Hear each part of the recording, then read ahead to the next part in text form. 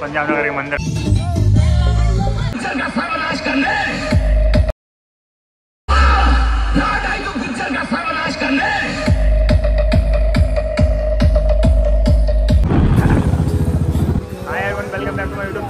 आप सभी का फिर से एक और न्यू ब्लॉग वीडियो में।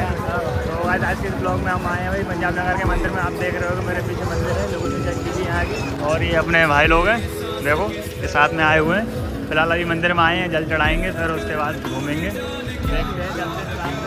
पंजाब नगर के मंदिर में आ चुके हैं, देख रहे हो गए काफ़ी भीड़ हो रखी है यहाँ पर, मंदिर में। आज सोमवार है, और यहाँ पर भंडारी व्यवस्था चल रही है।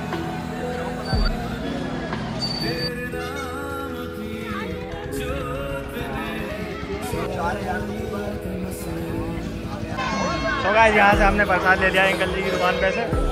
और अब प्रसाद लेके अब चल रहे हैं मंदिर में। मंदिर सामने आप देख रहे होगे। और अभी रास्ते में। सभी जल चढ़ा दिया हमने। और अभी मेले में आए हैं, घूम रहे हैं। आएँगे पियेंगे तो अभी झूले भी झूल सकते हैं, कुछ पता नहीं इधर झूले लग रहे हैं, इधर ये कुछ शॉप वगैरह हैं, गली में देख रहे होगे। और मंदिर ये है हमारे सामने।